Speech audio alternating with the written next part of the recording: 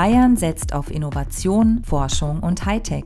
Moderne Technologien unterstützen die Menschen in verschiedenen Bereichen ihres Alltags.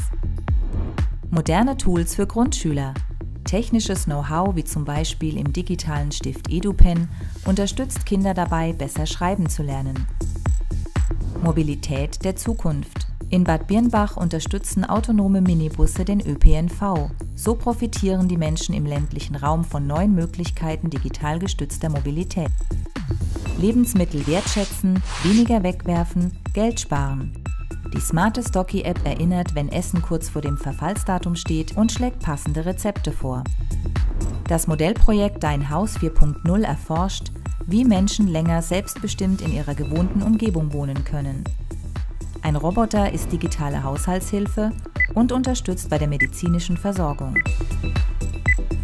Polizeischüler trainieren in vielfältigen digitalen Szenarien den richtigen Umgang mit Gefahrensituationen. So sind sie noch besser für den Polizeialltag gerüstet.